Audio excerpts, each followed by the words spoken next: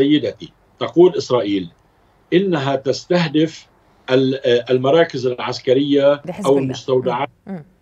وتقول إن الصواريخ موجودة في مناطق مأهولة بدليل حين ضربت حين ضربت آه، إبراهيم عقيل القيادي البارز في حزب الله في الضاحية الجنوبية الأسبوع الفائت ضربته آه، آه، في بصواريخ هائلة طبقتين تحت الأرض في غرفة عمليات لحزب الله. لكن هذا المبنى المؤلف من إحدى عشرة طبقة فيه مدنيون. اذا حزب الله هناك تداخل بين المراكز العسكرية لحزب الله والمستودعات العسكرية لحزب الله والمناطق السكانية الآهلة بالسكان.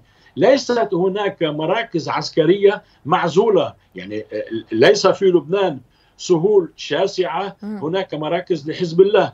مراكز حزب الله بين المدنيين.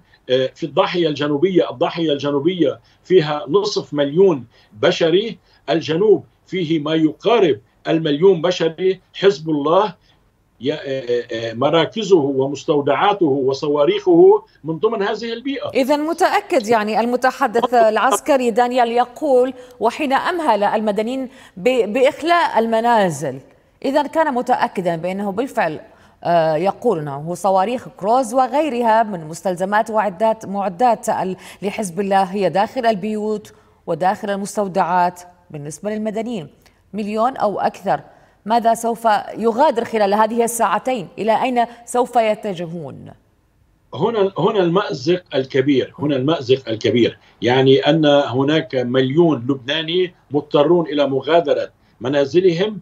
وهذا لا يعرف كيف سيتم. حتى المليون إذا إذا نزحوا إلى أين سينزحوا؟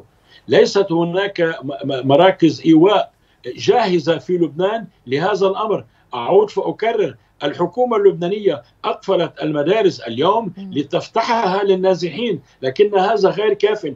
هناك بنية عسكرية لحزب الله بين المدنيين.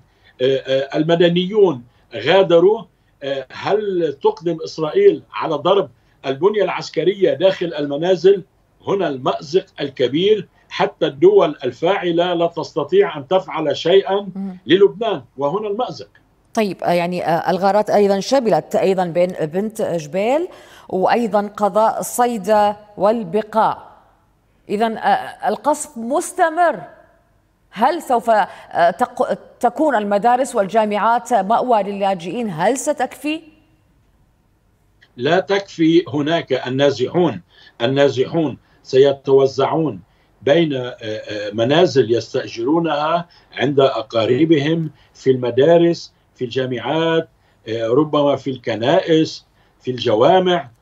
هناك مشكلة حقيقية. أنت تنقلين مليون أو أكثر من مليون آه، مواطن لبناني من منطقة إلى أخرى. كيف ستتم هذه الأمور في عجلة؟